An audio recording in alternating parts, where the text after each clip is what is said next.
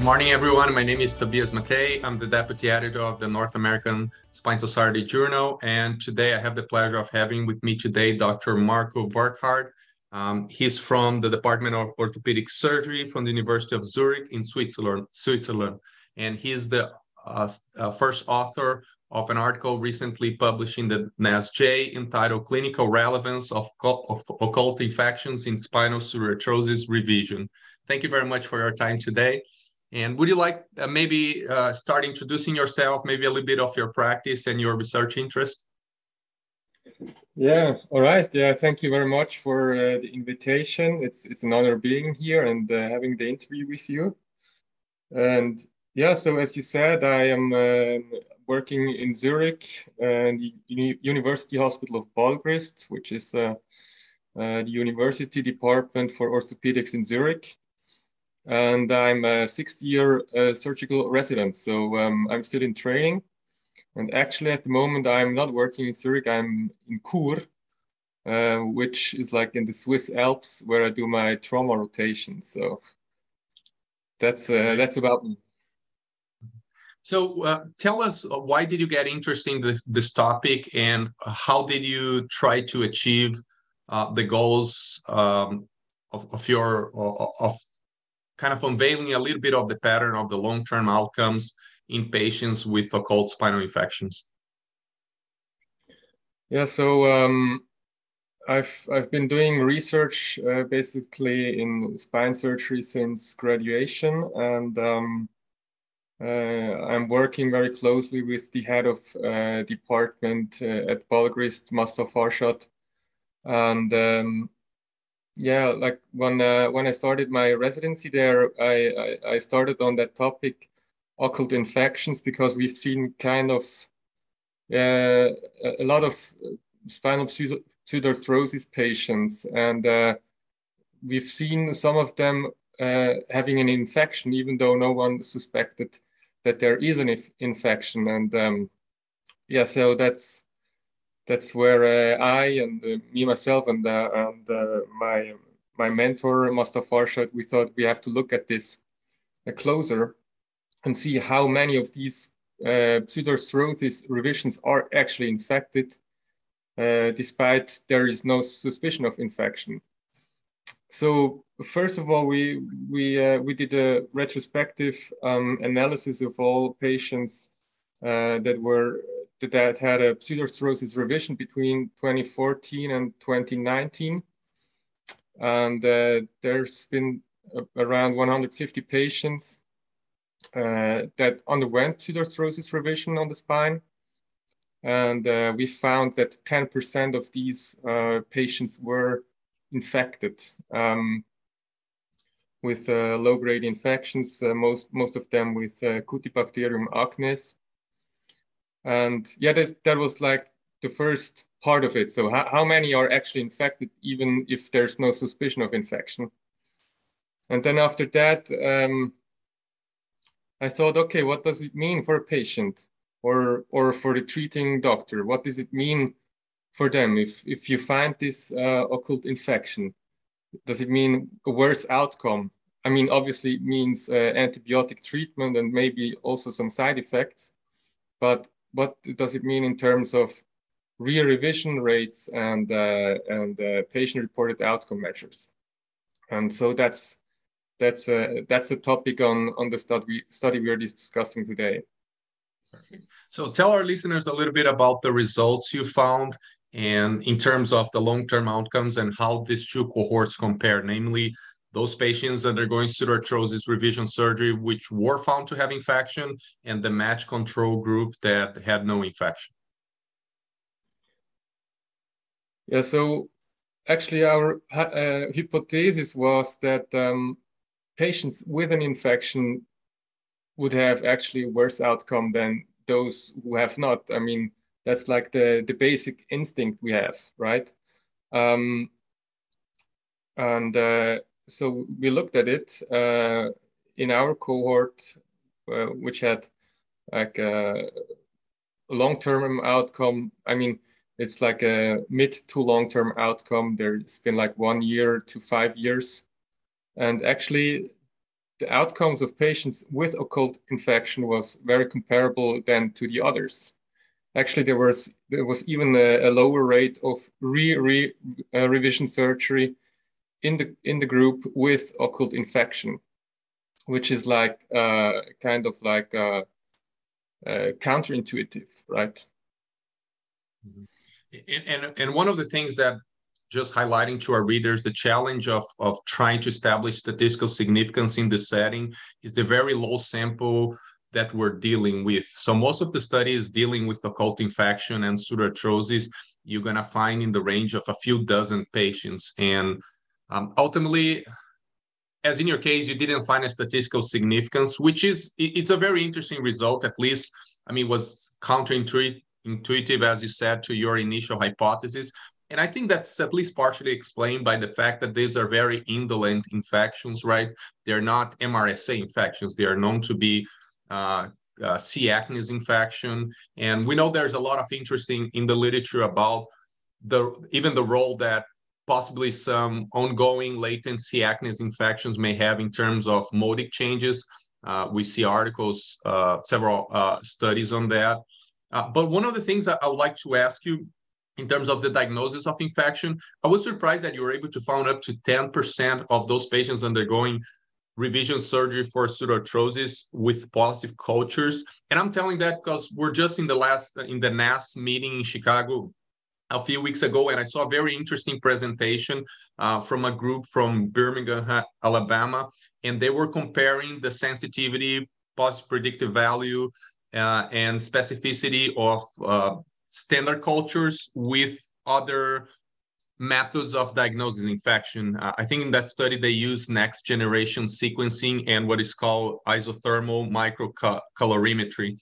And it was interesting in that case, I think from the 22 cases of patients undergoing revision for pseudoarthrosis, they had zero patients that the cultures were positive, but the next generation sequencing was positive in, uh, detected the presence of a bacteria in, in 9% of the cases, um, actually 18% of the cases, and the, the isothermal uh, microcalorimetry in 9% of the cases. So that just tells me that perhaps we're really underestimating the, the, the prevalence of infection in these cases. And then maybe the case because we're trying to culture this ve very low virulence bacteria and maybe our culture methods are still leaving us behind. So I just want to hear your insights, whether you think that maybe even the 10% you found was probably an underestimation related to the way we're diagnosing infection in this population.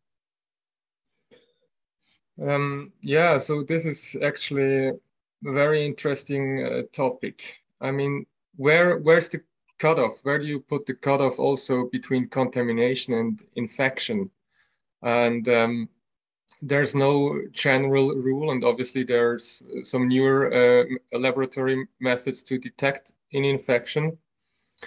Um, we in Zurich we we defined an infection as if at least two out of a minimum of uh, three uh, specimen were positive with the same pathogen, then it's it, it is defined as a, an infection or and it's incubated for 14 days. Um, and that's that's uh, the definition of an infection that that we have. And the other method that we use is sonication so we send in the screws or or whatever material you take out uh, uh, send it to sonication and if there's uh, more than 50 colonies per milliliter in this sonication fluid found, then it's also uh, then it's also defined as an infection. So tell me about two two uh, things related to the methodology of your study. I mean, first, where did you obtain the cultures? Was it always from the whole of the pedicle screw? Because I think, I mean, at least in my mind, that would be the most sensitive place to have a positive culture, or like you mentioned, from the screw? Um, and the second one, what was the treat the standard treatment for those patients that you found have a positive C. acnes? Was it just uh, or antibiotics for two weeks, or what was the protocol that that you've been employing for that?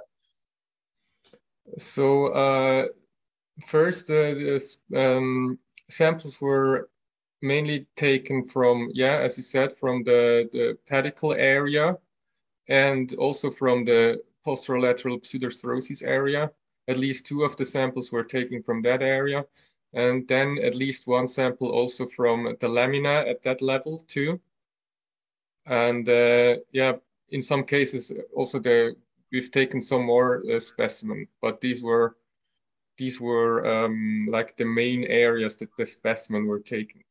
But you know, it was a retrospective ana analysis going back to 2014, and actually, our our treatment, or let's say our diagnostic protocol, was not completely standardized. So because we didn't know how, how many, or is it is it relevant at all? And um, and uh, and now we know. So um, now it's more standardized, and we do it for every patient who's undergoing pseudarthrosis revision, and at least these three samples. So two at the pedicle screw uh, uh, insertion sites, and one at the lamina. And the second point, um, standard treatment for C. acnes patients. Um, these were like all the all the C. acnes patients we had in the cohort um, were treated with clindamycin, but treatment was not only for two weeks; it was actually for three months. Okay. Which is also duration of antibiotic treatment is another very interesting topic. Um, there's there's also studies also from from our clinic that indicate that uh, antibiotic treatment there's no difference between antibiotic treatment for six weeks or for three months. So, yeah, but it's another topic, but still very interesting. Correct. And I don't think there's any standard protocol for that. I often get questions about infectious disease to try to classify any postoperative infections as superficial or deep. And then they say if it's a deep infection, you're going to do six weeks of IV antibiotics. Some attendings, they like to keep what they call immunosuppression, which is just chronic or antibiotics for a little bit longer. But I do agree that the evidence regarding the length of treatment of antibiotics, um, it's it's still very poor. And one thing that you mentioned that uh, it was, you mentioned that the finding that the outcomes were um, similar between the two groups was a little bit counterintuitive because you thought that maybe perhaps those patients with infections might have a poor outcome. And when I first read this paper, that makes sense to me because I, I, can see basically in my practice two groups of patients with pseudoarthrosis. There's one group that you know that the pseudoarthrosis is, if not directly related, at least substantially related to some mechanical factors. So it's the type of patients that had a T10 to pelvis with suboptimal correction of um, their sagittal balance, or a, a, patient with a long instrumentations and severe osteoporosis, or a patient with PJK. So you know those patients. Probably the main factor related to the pseudoarthrosis is the biomechanics uh, between your hardware and the bone interface. And, and there are those other patients that they are young, they seem to have good bone quality. Um, you've used um, autologous uh, uh, uh, bone for posterolateral as well as interbody fusion. And even with that, those patients still didn't fuse. And I, I think that's a subgroup of patients that when you have no other reason, or at least biomechanical reason for the pseudoarthrosis, those are the patients that um, we should be more suspicious uh, of infection. And, and, I agree with you. There's no reason for not collecting samples in every single patient that you submit to surgery for pseudoarthrosis. But I, I, think you mentioned in the discussion, I mean, if that was the main reason for the pseudoarthrosis and you treat the patient surgically and re-instrumented or uh, inserted more allograft, uh, did whatever revision surgery you did, and on top of that, you treated infection, I have no reason to suspect that those patients will have perhaps even a better outcome than those patients for whom the reason of the pseudoarthrosis was biomechanical in nature, right? Yes, yeah, so very well summarized. Um, yeah, um, I mean, what do you think when you have a patient that has an postoperative infection or uh, uh, infectious revision surgery, you always think of bad outcomes, but you also you also don't expect like the best outcomes in any pseudarthrosis revision uh, surgery anyway. You know, these are patients they will still complain, they will still have some pain, but you hope to, to make it better for them, right? Um, and yeah, as, as you uh, said very well, that in this subgroup of these of patients undergoing pseudoarthrosis revision, we actually find a cause for the for the pseudoarthrosis. I mean, pseudoarthrosis is, I think, multifactorial. So maybe BMI, maybe poor bone quality, um, maybe smoking, I don't know, or there's several other factors that a patient could have to develop a pseudoarthrosis. Um, and some of these factors, or most of these factors, you cannot really treat. Uh, but if if the the really causative um, factor is an infection, you have actually have a treatment option, which is antibiotics, besides surgery, of course. And as we discussed, these are usually indolent infections like C. acnes. So even in patients that we had postoperative infections and had to reoperate, uh, and the identified bacteria was MRSA or um, E. coli. I mean, you treat those patients with IV antibiotics, uh, and I'm not seeing a higher revision rate for those patients either because recurrence of the infection or because of pseudoarthrosis. So even for standard postoperative infections with more aggressive bacteria. Once the, the treatment is finished and you did whatever protocol your infectious disease recommended, I've not seen that the long-term outcomes in those patients would be worse because of the perioperative infection. So um, as you mentioned, I, I do think it makes sense um, to imagine that to take at face value the results you found, of course, with the caveat of the low sample population, but it's a very well done study and it highlights that if anything, it seems we have reasonable evidence to, to believe that those patients with identified low virulence infection in the revision surgery and properly treated, they have at least comparable outcomes with uh, the group of pseudoarthrosis and no infection. So I think that's a very interesting uh, result and a significant contribution uh, to the literature. So for me, summarizing the, the takeaways of the studies is that I, I, think as a spine surgery community, we sometimes underestimate um, the, the role that this um, indolent infections may have, especially in the setting of pseudoarthrosis. So uh, take into account the very low burden of just collecting some co collecting intraoperative cultures during the surgery. I believe that is a very um, reasonable protocol for every spine surgeon to at least consider collecting, consider uh, establishing as a standard practice to, to collect cultures uh, at any revision surgery for pseudoarthrosis. And then if those are positive, of course, properly treating the patients. And, and of course, I mean, further research in this topic um, even if it's retrospective, uh, like in your case, uh, may further enlighten the not only the the sensitivity of the methods you were using for identifying the infection, what is the gold standard for detecting infections? Because as you mentioned, um, in some studies, this one I mentioned, the abstract we saw at the meeting, the gold standard was the, was the pseudoarthrosis itself. So that's a little bit problematic because then you're assuming every pseudoarthrosis is associated with infection. But the fact is that these patients with pseudoarthrosis and occult infections, they don't have elevations in white blood count. They don't have elevations in CRP, uh, ESR, or any other inflammatory markers. So uh, I think we're we're comparing methods of diagnosis infections, but we still don't have a gold standard for that. And any other takeaways from the study or anything you would like our readers to to have in mind uh, going forward? And of course, I always encourage them to go go back and, and read your your your article uh, and have a, a, critical overview not only of your methods but about the relevance of of your conclusions. But i'll leave some some time for you now to just highlight what what else you would like about your research. Yeah um obviously, obviously to everyone that is watching this interview if you if you're treating a spinal pseudoarthrosis patient, if you see one in your practice, and also if you decide to to re uh, to undergo revision surgery for this patient. think of these occult infections. Just it, it may be 10% uh, or around 10%.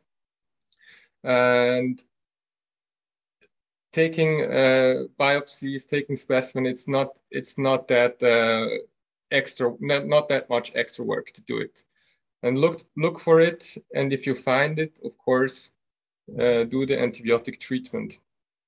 And also, I would uh, like to encourage uh, others to to invest on that topic.